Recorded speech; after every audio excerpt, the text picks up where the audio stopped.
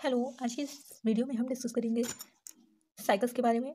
तो सबसे पहले हम इसका सिस्टमेटिक पोजीशन देखेंगे। तो साइकस का जो डिवीज़न है, वो है साइकेडोफाइटा क्लास है साइको साइकेडोसिडा ऑर्डर है साइकेडेल्स फैमिली है साइकेडेसी और इसका जो जीनस है, वो है साइकस अक्रेंस की बात करेंगे तो जो साइकस है is widely distributed cycas occur in wide state of China Australia Africa Japan Nepal Bangladesh Burma in India India में साइकस के चार स्पीसीज पाए जाते हैं cycas circinalis cycas pectinata cycas rumphii cycas beddomei occur in natural state in India chiefly ये कहाँ होते हैं? आसाम में, ओडिशा में, कर्नाटका में ई टी सी नेक्स्ट हमारा जो हेडिंग है, वो है स्पोरोफाइट स्पोरोफाइट ऑफ़ साइकस तो स्पोरोफाइट में सबसे पहले हम इसके एक्सटर्नल मार्फोलॉजी को देखेंगे तो जो साइकस होता है, वो एवरग्रीन प्लांट है स्लो ग्रोइंग है पाम लाइक स्मॉल ट्री है, इसका जो पेड़ होता है ना, वो ताड़ के पेड़ के जैसे होता है with an average of five one point five to three metres commonly found in xerophytic habitats ये जो साइकस होते हैं, वो जीरोफिटिक हैबिटाट में पाए जाते हैं. It is also known also grown under cultivation in garden ये क्या होते हैं कि गार्डन में भी ग्रो कराए जा सकते हैं या होते हैं. The sporophytic plant body is differentiated into root stem and leaf इनका जो प्लांट बॉडी होता है, वो रूट स्टेम और लीफ में डिवाइडेड होता है और ये जो रूट होता है वो टू टाइप्स होते हैं नॉर्मल रूट और कोरेलवाइड रूट तो ये जो नॉर्मल रूट होते हैं, वो टैप रूट होते हैं नेचर होते हैं और ये हेल्प करते हैं अटैचमेंट टू सबस्ट्रेटम से. अटैचमेंट के लिए हेल्प करते हैं और वाटर के एब्जॉर्प्शन के लिए हेल्प करते हैं. कौन? नॉर्मल रूट वहीं जो कोरेलवाइड रूट होते हैं, ये क्या होते हैं कि ये ग्रो करते हैं सरफेस ऑफ़ सॉइल सॉइल के ऊपरी सतह पर ग्रो करेंगे.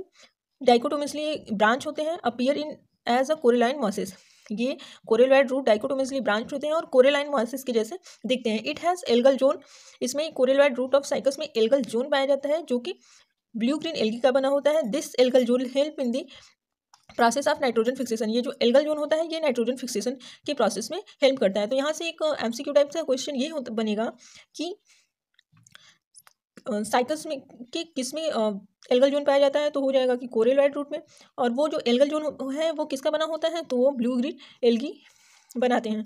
नेक्स्ट हम बात करेंगे स्टेम के बारे में तो स्टेम जो होता है, ये पहले हम यंग स्टेम को के बारे में डिस्कस करेंगे, फिर ओल्डर स्टेम के बारे में डिस्कस करेंगे। It is young stem is tuberous and it is its apical part is covered with brown scaly leaves जो यंग स्टेम होता है, वो ट्यूब्यूरस होता है, और इसका जो एपिकल पार्ट होता है, वो ब्राउन स्केली लीव से ढका हुआ होता है। ओल्डर प्लांट में ये क्या होंगे कि ये स्टेम ठीक हो जाएँगे और वुडी फॉर्म में आ जाएँगे।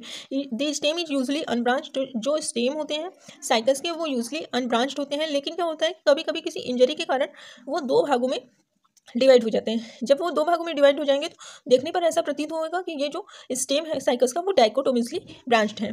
नेक्स्ट बात करेंगे लीव्स के बारे में तो जो साइकस का लीफ होता है, वो भी टू टाइप का होता है। पहला है फोलियोस लीफ तो फोलियोस लीफ जो होते हैं लार्ज होते हैं कंपाउंड इन नेचर होते हैं which form crown like structure इस टाइप से संरचना बनाते हैं on stem each leaves have has eighty to hundred pairs of leaflets. प्रत्येक लीफ के पास अस्सी से हंड्रेड पेयर्स के लीफलेट्स होते हैं which arrange in both side जो कि दोनों साइड में इस तरह से अरेंज रहते हैं। ऑफ़ रैकिस रैकिस के दोनों साइड अरेंज रहते हैं in the alternate manner leaflets elongated and sessile जो लीफलेट होते हैं, वो इलांगेटेड होते हैं और सिसाइल होते हैं। वहीं जो दूसरा टाइप का लीफ होता है साइकस का, उसको स्केली लीफ कहते हैं। स्केल लीफ कहते हैं, ये क्या होते हैं? स्मॉल होते हैं रफ होते हैं ड्राई होते हैं ट्रायंगुलर इन शेप होते हैं। Scale leaf protect the apical meristem and other apical parts जो स्केली लीव्स होते हैं, ये साइकस के एपिकल मेरिस्टेम और उसके अदर जो एपिकल पार्ट होते हैं, उन सबको प्रोटेक्ट करता है। अब हम डिस्कस करेंगे इंटरनल स्ट्रक्चर ऑफ़ साइकल्स अब हम डिस्कस करेंगे इंटरनल स्ट्रक्चर ऑफ़ साइकल्स स्पोरो स्पोरोफाइट में सबसे पहले हमने एक्सटर्नल मार्फोलॉजी को डिस्कस किया, अब इंटरनल मार्फोलॉजी को डिस्कस करेंगे। ये भी एग्ज़ाम के पॉइंट ऑफ़ व्यू से बहुत इंपॉर्टेंट है। तो चलिए, सबसे पहले हम टीएस ऑफ़ स्टेम देखते हैं स्टेम के टीएस को। तो इसमें पहला जो हेडिंग है, वो क्या है?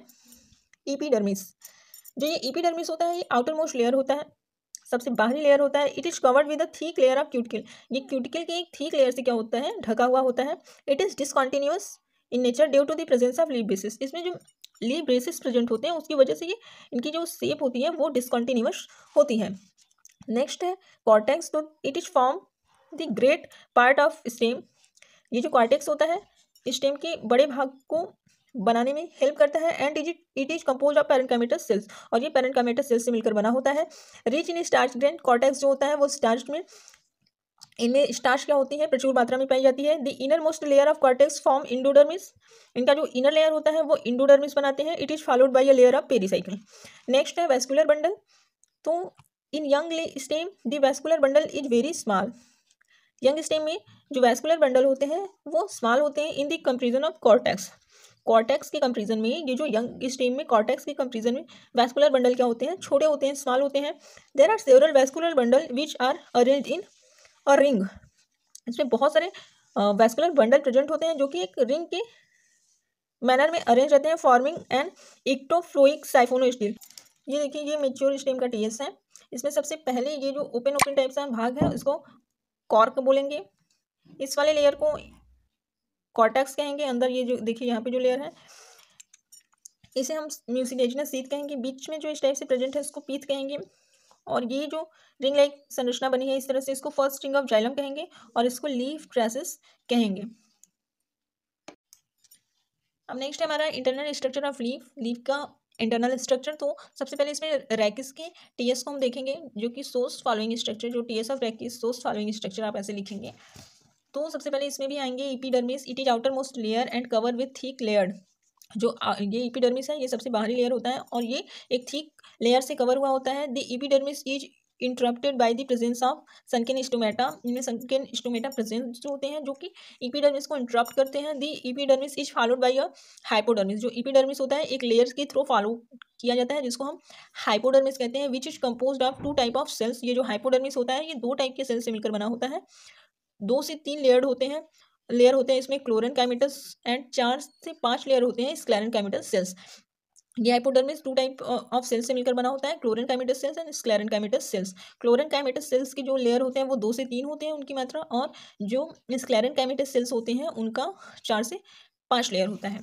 नेक्स्ट है ग्राउंड टिश्यू तो just below the hypodermis ground tissue present hypodermis के नीचे ग्राउंड टिश्यू प्रेजेंट होते हैं which is compose of parenchymatous cells ये जो ग्राउंड टिश्यू होते हैं, वो पैरेंकाइमेटस सेल से मिलकर बने होते हैं. There are many vascular bundle in the ground tissue ground tissue में बहुत सारे वेस्कुलर बंडल प्रेजेंट होते हैं which is conjoint collateral and open ये जो वेस्कुलर बंडल होंगे, होते हैं, वो कंजॉइंट होते हैं कोलेट्रल होते हैं और ओपन टाइप के होते हैं.